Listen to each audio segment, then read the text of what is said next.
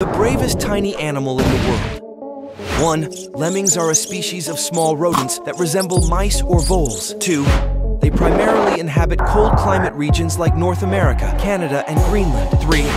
Lemmings are known for their mysterious behavior of occasional mass migrations. 4.